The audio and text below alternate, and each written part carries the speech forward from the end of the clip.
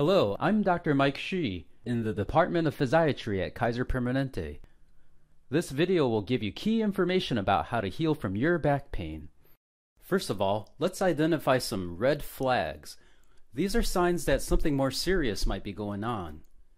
Unexplained weight loss, unexplained fevers, chills, or night sweats, a personal history of cancer, a significant loss of strength in one or both legs, loss of feeling that is getting steadily worse, new difficulty in holding or releasing your urine or stool, pain that has steadily worsened for more than three months, significant trauma such as falling hard on your buttock or getting into a car accident, new back pain while taking oral steroids like prednisone or dexamethasone, more than 70 years of age with new back pain. Pain while sleeping that is worse than any other time during the day. If you have any of these, please consult your primary care provider immediately. Provided that you do not have any red flags, let's start with two take home points. Number one, there is nothing seriously wrong with your back. It is very, very unlikely that you have any serious nerve damage, fracture, cancer, infection, or any other underlying disease. Number two, most of your back pain is under your control. This includes specific exercises, correct posture, good sleep, a moderate amount of movement, and a healthy attitude. You might be wondering, well, if nothing is seriously wrong with my back, then why do I hurt? The answer is a combination of two factors the tissues such as the bones, the joints, the ligaments, and the discs, and your brain. Let's look at what happens to the tissues during the normal, healthy aging process. First, the discs begin to dry up. The disc is like a jelly filled shock absorber between the bones of the spine. As we age, the liquid from the jelly seeps into the outer fibers of the disc. The fibers start to weaken and bulge, and the jelly starts to disappear. This is why we normally begin to shrink in height in our late 30s and lose about 2 inches by the time we're 70. Finally, because there is less shock absorption, the bone grows broader to absorb more pressure, resulting in vertebral bone spurs. The name for this process is degenerative disc disease, which simply means normal aging of the discs and often does not cause any pain. Another thing that starts to happen is because of the loss of disc height, the joints in the back of the spine, called facet joints, start feeling more and more pressure, and so they develop bone spurs as well. This is called facet joint arthropathy or facet joint hypertrophy. Again, these are normal features of aging and often do not cause pain. So, how can all these things happen to the spine without causing pain in the vast majority of cases? The reason is because while these things are slowly happening to the tissues, the brain is able to adapt. Things like good sleep, regular movement, and a positive attitude help the brain adapt to these changes. Imagine a 16 year old kid who's never had back pain or joint pain ever before. Then consider a normal 50 year old who already has some of these age related changes in their spine, but also doesn't have any significant pain. Now imagine that one day the 16 year old kid wakes up in the 50 year old's body. Suddenly he would hurt all over the place. This is because his brain didn't have those 30 odd years to adapt to the slow and steady changes that happen to the body. The brain is an amazing organ that adapts to new information extremely quickly. But in order to learn and adapt well to new information, we need good sleep, regular exercise, and a positive attitude just like what kids need to excel in school. As long as we give our brains these key ingredients, we can adapt to the normal aging process and extinguish the signals coming from our back. This is why the vast majority of people with degenerative disc disease or facet joint hypertrophy do not experience any back pain. So, we looked at what normally happens to our spines as we age and how our brain adapts to this process to prevent pain. What about when we do have back pain? What's going on there? First, let's look at what can go wrong in the tissues of the spine. Remember the disc that's filled with jelly. In Western society, we spend a great deal of time sitting, bending forward between 0 and 90 degrees, or lifting with our hands far out in front of us. Conversely, we don't spend nearly as much time walking, bending backwards, or looking up at the sky like our ancestors did. As a result, we end up putting too much pressure on the front of the disc, shoving jelly towards the back of the disc.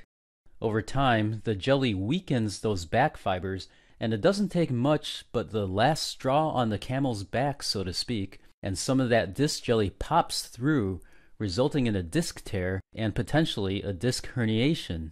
This is usually intensely painful. The typical scenario would be you bend over to pick something off the floor, it could even be a paperclip or a pencil, and bam, you're in the worst pain you've ever had, unable to even move due to severe back pain. If the herniated jelly irritates a nerve, the pain may radiate into the buttock or leg, resulting in what we call sciatica.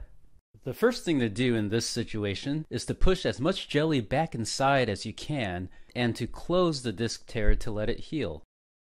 Now, if you have two or more of these symptoms, chances are the disc tear is still open. The pain is worse first thing in the morning. The pain is worse with even the slightest bending, like bending over the sink.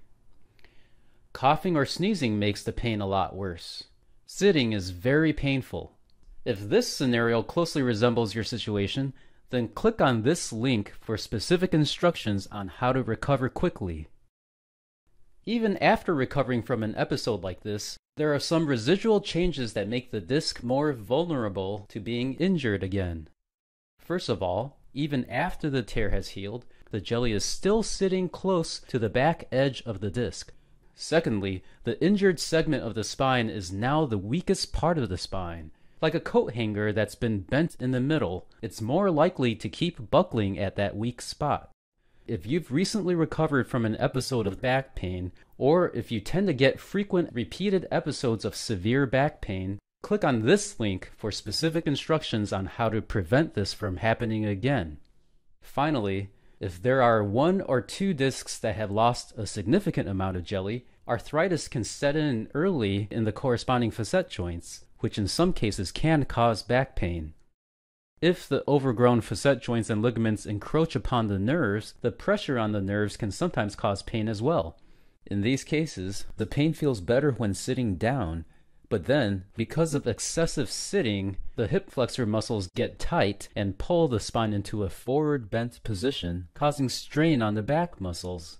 In these cases, the pain is typically worse the longer you are on your feet. The pain can be worse when standing up from a seated position. The pain feels better when leaning over a shopping cart or a walker. The pain is quickly relieved when sitting back down.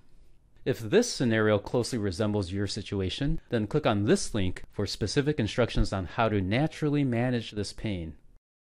Now, regardless of which of these situations fits your pain the best, or even if none of these three scenarios describes your situation, you can still benefit from the following advice.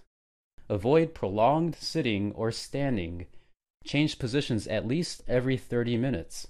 Regardless of whether you're sitting or standing, your earlobes should be directly above your shoulders, your shoulders directly above your hips, and your eyes should be level with an imaginary line a third of the way down from the top of your computer screen. Sometimes a kneeling chair is better for those with sensitive discs.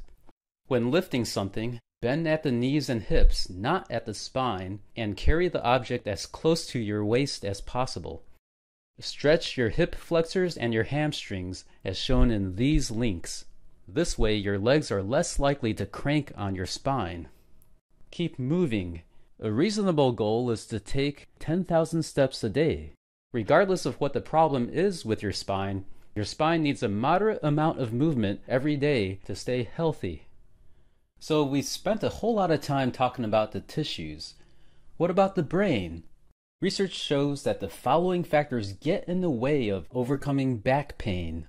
Narcotics, otherwise known as opiates or opioids, these are medications like Norco, Vicodin, Tylenol with codeine, Percocet, morphine, oxycodone, Dilaudid, MS Contin, and OxyContin. These medications prevent the brain from naturally adapting to the pain. So, in the long run, you end up with more pain than if you simply avoided these medications altogether. Negative stress. One of the most important reasons why the brain doesn't adapt is because of stress from one's relationships at work or at home, particularly if you are constantly being put down. Poor sleep. The brain needs restful sleep to adapt to new situations, and back pain is no exception. Unfortunately, benzodiazepine sleep aids such as Xanax, Valium, and Klonopin, along with the previously mentioned narcotics, actually prevent the brain from getting restful sleep. Incorrect beliefs about pain. There are three especially damaging beliefs that prevent the brain from adapting. The first is catastrophizing, this is the idea that something must be terribly wrong with your back because you hurt so much, or that it's just going to get worse and worse. Fear of movement. Movement is essential for overcoming back pain because it stimulates your brain to create new pathways and learn how to adapt. If you're afraid that movement will cause you more pain, you will deprive your brain of the necessary stimulation to overcome your pain. Feeling like the pain is out of your control that there's nothing you can possibly do on your own to help your pain. So, what can you do to optimize your brain's ability to overcome back pain? Avoid narcotics and benzodiazepines. Address any situations where you're constantly being put down or bullied. Sometimes leaving is the only option. Follow good sleep habits. First, try these simple things. If they don't work, ask your doctor about gabapentin or trazodone, or try herbal remedies such as melatonin or valerian root. Remind yourself that millions of people have successfully overcome back pain, and with the help of the information in this video, so can you. Let your body move. A reasonable goal is 10,000 steps a day. This will give your brain enough stimulation so that it knows how to adapt to the changes in your spine. It may take weeks or months to get to this goal, but you can do it. Finally, let's review the main take-home points of this video. Number one, there is nothing seriously wrong with your back. As long as you don't have any of the red flags mentioned at the beginning of the video, it's very, very unlikely that you have any nerve damage, fracture, cancer, infection, or any other underlying disease. Number two, most of your back pain is under your control. This includes specific exercises, correct posture, good sleep, a moderate amount of movement, and a healthy attitude. Thank you for listening, and if you found this information helpful, please share with others. Take care.